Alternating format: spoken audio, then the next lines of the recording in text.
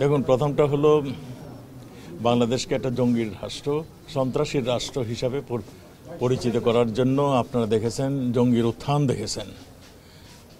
বাংলা ভাই না আরও অনেক অনেক অনেক দেখেছেন। তখনকার সরকার তখন বলতেন, এগুলোকে মিডিয়া করেছে। কিন্তু তারপরে পরবর্তীতে আপনারা দেখেছেন, সত্যিকারে জঙ্গির উত্থানটা দেখেছেন।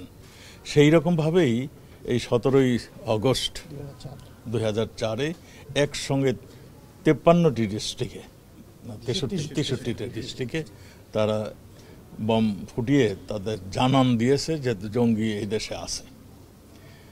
আমরা এক- আপনাদেরকে এইটুকুই বলতে পারি জঙ্গি আমরা একদম নির্মূল করতে পারিনি।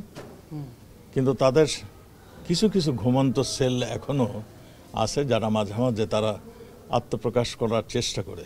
তা আমাদের নিরাপত্তা বাহিনী আমাদের গোয়েন্দা বাহিনী অত্যন্ত দক্ষ।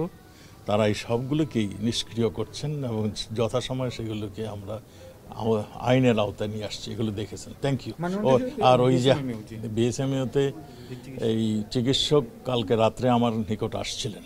নতুন লাক্স যা দেয় মখমলি উজ্জ্বলতা। আমার উজ্জ্বলতার রহস্য নতুন লাক্স। তিনি এই সমস্ত ঘটনা বলেছেন। আমরা এইটাও প্রত্যক্ষ করেছি যিনি চিকিৎসক যিনি সেবা দান করেন তিনি তাকে চিকিৎসা করেছেন। তাকেও তাকে হত্যার হুমকি দিচ্ছেন। এটা আমার কাছে আশ্চর্য লাগে।